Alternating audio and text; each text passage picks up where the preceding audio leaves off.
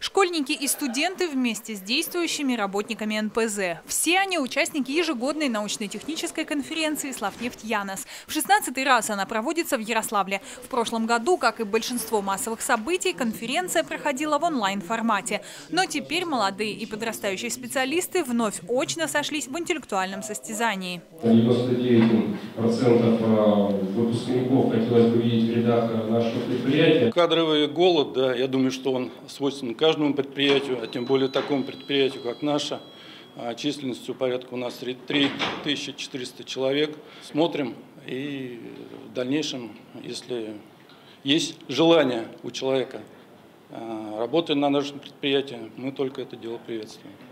Молодые профессионалы представляли свои проекты по пяти направлениям. Все связаны с деятельностью НПЗ. Ряд решений из прошлогодних конференций уже применены на предприятии. Возможно, часть из представленных в 2021 проектов также ожидает воплощения в жизнь. Порядка уже 70% тех работ, которые здесь защищались, они найдут свое применение на нашем предприятии. Много кто нам из начальства помогал. Хочу сказать всем огромное спасибо своему руководству. Оно супер у меня любимое мое. Вот. Э, ну, в принципе, было тяжеловато, но я справилась, как видите, поэтому я очень рада.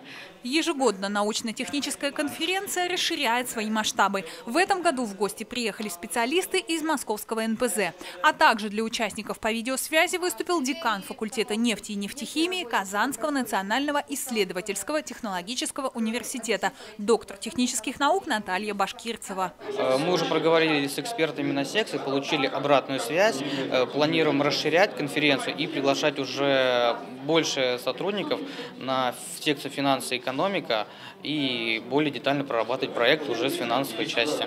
Как показывает практика, участие молодых специалистов в научно-технических конференциях способствует развитию их исследовательской активности, приобщает к новаторским изысканиям, направленным на решение наиболее актуальных задач, которые стоят перед предприятиями нефтеперерабатывающей отрасли. Кроме того, она дает возможность участникам не просто побороться за призовые места, но и реализовать в перспективе лучшие проекты на производстве.